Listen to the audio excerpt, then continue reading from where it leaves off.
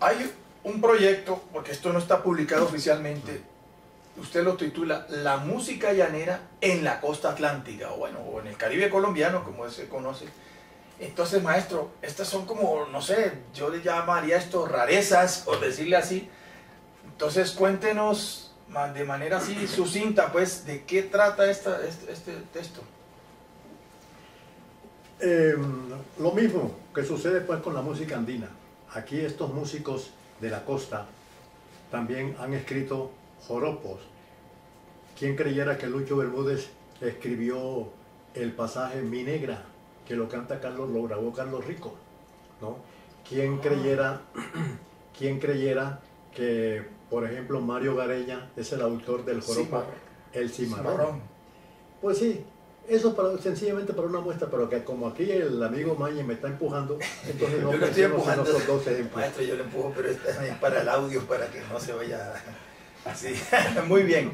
Entonces, también una cordial invitación para las editoriales, casas que quieran, o alguien que se, pues, haga el esfuerzo, pero que esto se publique, porque esto es un patrimonio, ¿ok? Del país.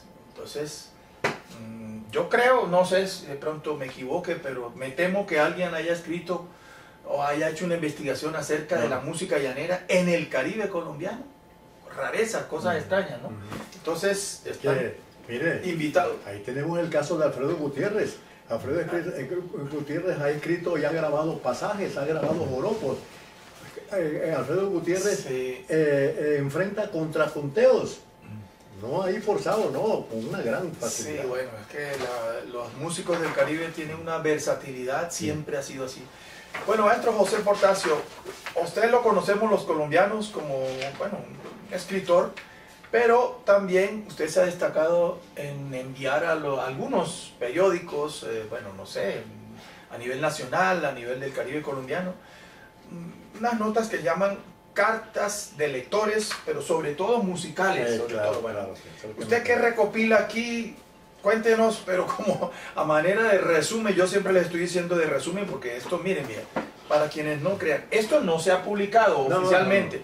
Cartas de lectores, José Portacio Fontalvo. Entonces, usted, eh, bueno, voy a abrir algo así como para que el público vea. A propósito de, o sea, usted trae, usted escribe mucho tanto en las redes sociales como en algunos periódicos, La Libertad, supongo que El Heraldo, El Espectador, El Tiempo, que lo hemos visto. Entonces usted como que hace unos, unas remembranzas de algunas notas pequeñas. ¿De qué se trata esta recopilación? Por ejemplo, tengo en cuenta los centenarios, ¿no? que dan, todo, el mundo pues se, olvida. Este año tenemos, por ejemplo, el, centenario de Matilde Díaz. ¿no? Entonces he mandado un recorderis acerca de esto. Y lo mismo he hecho pues con, con otros, ¿no? Por ejemplo, cuando Huitrago también cumplió 100 años. Eh, digamos, cuando la pollera colorada también cumplió 50, 60 años, etcétera. Efemérides. Eh, eh, especialmente pues como una especie de efemérides. Sí. Ah, bueno, pero entonces mantiene, pues nos recuerda la historia de la música en Colombia. Por ejemplo, entonces, en, esta, en, esto, en esta época el, tiempo me ha publicado dos, que son, por ejemplo, A la carga con Gaitán, que es un porro, ¿no? Que eso fue grabado en Buenos Aires por de... Y de Eduardo Armani. Eh, sí, Eduardo Armani. Y el otro que me acaban de publicar es ¿Y tú que cogiste el 9 de abril? O sea, el Comi que es un, merengue que grabó José María Peñaranda.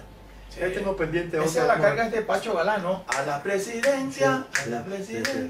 Sí, pero estábamos hablando del año 46 por allá. 45, 45, 46. Esto lo hizo, lo hicieron para la candidatura cuando él se lanzó como candidato a la presidencia de la República. Bueno, muy bien. Entonces, si alguien está interesado, pues ya saben, cartas de los lectores. Aquí vamos a encontrar muchas eh, pues, historias eh, variadas de acontecimientos musicales en Colombia. Rápidamente, maestro, bueno, esto tiene que ver ya a nivel familiar. Pues, mm. Bueno, pero destaquémoslo sí también en dos palabritas. Reminiscencias de Barranquilla en torno a un vendedor de periódicos y revistas. Ese era el señor padre de ustedes, de los hermanos Portazo. Bueno, cuéntenos en resumen de qué se trata esto. Aquí también aparece la música. porque mi papá fue el primer vendedor de periódicos y revistas que estableció un puesto fijo en Barranquilla, por allá por los años 40. Eh, fue un hombre pues que no... ¿Cómo se llamaba su padre? Alejandro Portacio Pérez. Ok. ¿no?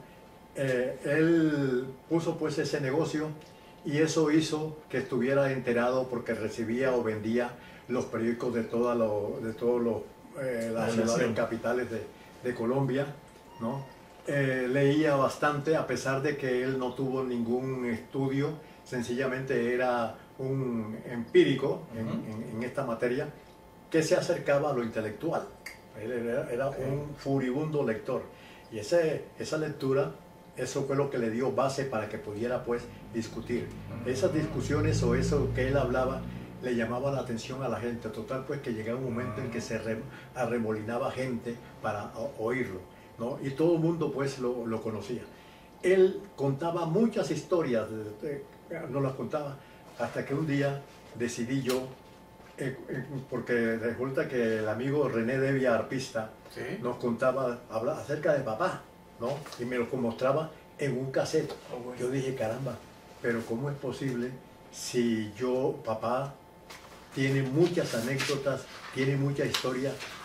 René Devia con su cassette del papá me inspiró a que yo le hiciera una entrevista a papá. Le hice la entrevista a papá que duró tres horas y media. Ah. Y no, eh, estupendo eh, todo, todo lo que él pues eh, cuenta. Entonces yo dije, no, esto esto tengo que, publicarlo. Lo publiqué, pero no, ha salido al público. O sea, lo, tiene acá recopilado, pero no ha salido. Estoy contento de verlo. Sobre todo en Barranquilla. Esto, es más, más para Barranquilla. Sí, y que si se hace, se manda a publicar unos 20, unos 30, porque ¿quién, quién se va? No, pero en Barranquilla habrá. Eh, recordemos que su señor padre se hacía en el Cañón Verde, por ahí por la. Eso es el Paseo Bolívar. Entonces, eh, bueno, entonces en Barranquilla ya saben Ojalá que publiquen esto, que no se pierda. Bueno, vamos a entrar en la parte discográfica. Ustedes, son reconocidos, todos ustedes, los hermanos Portacio, Jorge, Ilio en Barranquilla, Rodney y usted, maestro José. Ustedes eh, son de los, yo diría que de los pocas familia, familias que, que se dan el lujo de, recopilar y mantener, mm, digamos, eh, no sé, eh, todos esos formatos en cassette, de VH, de beta, discos que ya les voy a mostrar.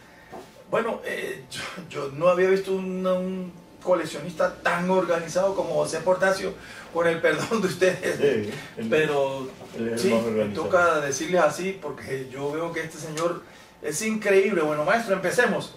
Aquí dice esta carpeta 33 revoluciones por minuto. Y 8, pulgadas. Y 8 pulgadas. Bueno, ¿qué tiene usted acá? Usted Ah, ah, ¿desde cuándo viene usted, eh, eh, usted eh, coleccionando? Pues era tanta la música que tenía que yo dije, esto tengo que organizarlo. Y comencé pues a organizarlo. Sí, sí, Hoy en día, por ejemplo, tengo 6.000 cassettes.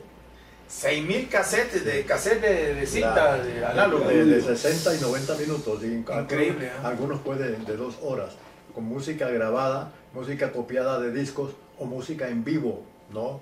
o conferencias, lo que sea, pero más o menos son unos 6.000. mil. Eh, sí, Carajo. Sí. Y tengo, por ejemplo, de, de long plays grandes. Maestro José, cuéntenos, aquí tiene una carpeta 45 revoluciones por minuto. Estos son formatos de discos eh, vinilo. Esto usted lo tiene como un catálogo, como lo, ¿cómo lo tiene? Es un formato que yo me, que, ah. una planilla que yo he ideado, en donde figura el sello y el color del disco, ¿no? Sí. Entonces, el sello es producciones de Sono Super. Color del disco, blanco. Aquí otro, por ejemplo, Vicky, del Vicky de color salmón. Aquí tenemos, por ejemplo, de la flota mercante, ¿no? Em, ¿Quién hace esto? en Colombia. Aquí sigue, por ejemplo, referencia. ¿Cuál es el número del disco? Entonces, aquí, por ejemplo, este dice 600 cara, 6000 cara A este dice, por ejemplo, eh, PLS 147. El título, Mañanitas de Sembrina. El género, gaita. Compositor y autor, letra y música de Francisco Buitrago. Intérprete, Linda Rodríguez con el conjunto Alma Latina. Producido y año fabricado por, eh, fabricado por Colombia. Y así, cogemos por ejemplo este. Bueno. Este es en formato 45. 45. 45, que ahorita vamos a mostrarle Aquí unos tenemos, por ejemplo, digamos, este. Disco moda, color amarillo. Sí, sí, no. La referencia. La Esto- marcha del pato. No, sí, Malambo. El, gu- el compositor y autor Gilberto Reategui, Marino. Bueno, Eh, nos podríamos Los Mirlos. Quedar aquí. Industria colombiana bajo licencia de DINSA. Esto no, muy difícil que un coleccionista se dé la tarea de, de sistematizar, esa es la palabra, eh, esta recopilación de sus textos. Mire aquí, 78 revoluciones, varios sellos extranjeros. Mm. También el formato es el mismo, o sea, Sí. entonces todo esto que usted está acá Claro. son discos que usted tiene. Sí, sí, sí. Vamos a No, mostrarle a los amigos discos, estos son discos, discos. discos, discos en, o sea, el material es vinilo, mucha gente cree que esto es acetato, es discos. vinilo, mire, estos son, por ejemplo, esto es un disco de que Vitrola, Sí, 12 pulgadas, 78 revoluciones. Uno de los 78, primeros que, que produjo RCA Víctor eh, con el título de Víctor o Victrola. Vitrola, sí, así, así.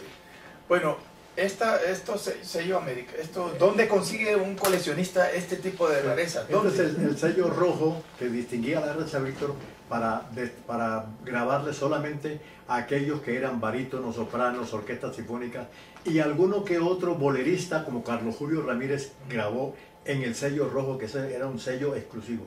Lo demás era sello azul, sello verde, sello negro, pero sello rojo era único.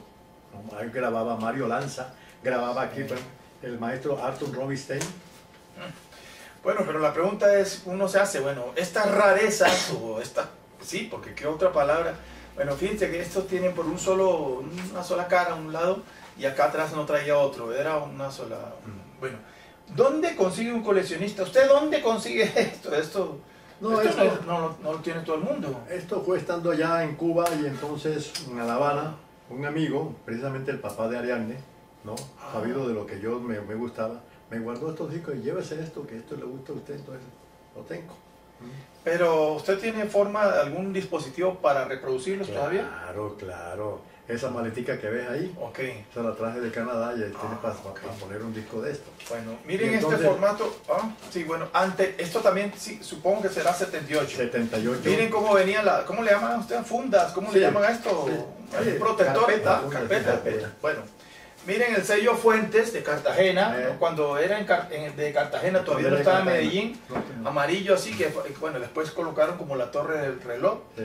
Bueno, entonces, eh, estos discos, ¿usted ya desde cuándo empezó a conseguir y dónde estos? Desde los años 60, Aquí en Bogotá. aquí en Bogotá, claro, sí. Ajá. Bueno, usted, este, este, por ejemplo, este ejemplar del sello. Vergara. Primer disco long play que se fabrica en Colombia. Bueno, este es el lo que llamaban un Sí, lo que 4x4. pasa es que, eh, eh, antes como no eran sino dos, ya Sí. te trae cuatro y ya era un Cuatro. long play. Entonces, 4 Trae por ocho. una, una cara y 4 por otra. Claro, era un long Pero play. el long play, el, el larga Claro, seis, duración, seis. era Sí. más o menos de 7, 8 Sí, surcos. seis. o sea, En bueno, principio 6, cinco después y- 7 y después 8. Ah, bueno, ese es el larga duración, Sí. no long play, Sí. LP que llaman. Pero en un principio llamaron 4x4, Sí, que sí. se conoció así. Sello Vergara. Este sello de aquí de Bogotá, De ¿no? Bogotá, como no de. Y, sí. y este es un variado, que mírenlo acá, interpretan por artistas colombianos. Sí. ¿Quién aparece aquí? Ah, sello 33 Revoluciones, Sí. sello Vergara. Bueno, ¿qué números destacamos aquí? Gracielita, Sí, merengue, Alberto Fernández. Alberto Fernández, Pomponio con Julio, Julio Torres, Torres. Alegres El Vallenatos. Aleguacero también con Julio El Torres. aguacero, sí. Entonces, miren, y usted, es maestro, pero usted, es, todo esto lo consiguió aquí en Bogotá, supongo. Todo, ¿es todo, todo, todo en Bogotá. Todo, todo, todo en Bogotá. ¿Dónde allá en el Palacio de las Pulgas? ¿Dónde? A veces en San Victorino. Ah, O eh, en, el, en el mercado de las pulgas también los domingos, ¿no? sí, o sea, con un coleccionista como ustedes, como decimos en Colombia vulgarmente, y qué pena, eh, se re- nos rebuscamos en los... O sea, ese- usted coleccionó discos de así raros, ¿no? O sea. Entonces usted tiene, miren, miren cómo era la, ¿cómo le llaman ustedes? La Funda, carátula, las carátulas, miren cómo era esto, Rico Fuentes. Entonces, bueno, aquí Este, hay... este- este hay que referirse a este por algo especial. Aquí tenemos, por ejemplo, este disco está se, se partió, ¿no? Sí, Sí. ah. Te llevo para Mangangue, el, el chufador. El chupaflor, el chupa. Y este es ni más ni, ni- más ni menos Me voy para Cataca de José María Oh, Peñaranda, ok. que lo cogió Nelson Pineda y lo convirtió en Me, Me voy, voy para pa' La Habana. con la Sonora Matancera. Entonces, amigos, miren, tienen muchos méritos. eh, eh, dicen, no sé, en Nueva York, en Puerto Rico, en Cuba también, que los colombianos, lo decimos, yo lo digo con mucha humildad, pero Mm. yo creo que es cierto, son quien, bueno, ellos, lo- yo no soy coleccionista de discos, yo colecciono videos, pero te- es- tiene un gran mérito te- ser un coleccionista de, de, vinilo. como dices tú. No, pero claro, es que esto, eh, primero, esto es una pasión, una inversión, y hay que tener criterio para, para seleccionar todas estas obras. Entonces, ellos, los hermanos Portacio, bueno, tienen toda esta colección. Bueno, yo tengo que agradecerles a ellos públicamente porque los cuatro hermanos, yo los considero como mis hermanos también, como una familia. Hemos mantenido una amistad, pues una relación de amistad. Bueno, también por la música con Ronnie, Sí. sobre todo, que pues hemos eh, cantado, tocamos, todavía estamos vigentes.